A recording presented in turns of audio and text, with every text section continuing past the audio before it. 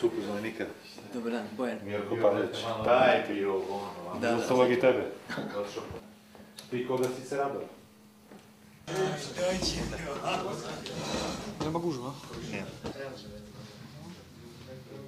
CDVita u ovoj sezoni sa sjajnim konceptom, veliki broj mladih igrača, izvaredan trener, Repeša, klub koji je sjajno organizovan i bez ikakvih dilema ove godine u najžem krugu timova za sam vrh tabele. Odlično smo startovali, na sve to u angažovanjem Alana Reja dodatno popunili roster i pokrili poziciju koja im je u ovom trenutku problematična. Taj sam start e, navodi na realnost da u ovom trenutku igramo u ovom ciklusu i najteži meč za nas,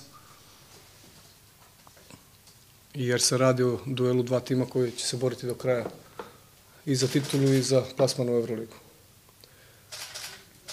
velika potrošenost posle meča u, u Vitoriji sigurno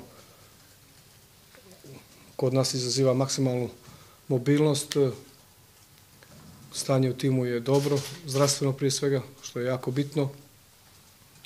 Očekujem da podrška navijača bude o, velika i da nam u ovom trenutku koji je ni malo lagan za nas, pomognu da dođemo do bodova koji su jako bitni iz razloga takmičarskog značaja i konkurenta koji dolazi u Beograd sigurno sa velikim samopouzdanjem prije svega jer su uz dobar rezultat koji imaju u ABA ligi i u Evropi napravili jedan e, rezultat u zadnjem kolu Evrokupa gdje su praktično do 29. minuta gubili 20 razlike, onda napravili jednu, jednu fantastičnu završ, završnicu i sigurno da će iz te pobjede dodatno crpe samopouzdanje pred uh, duel sa nama.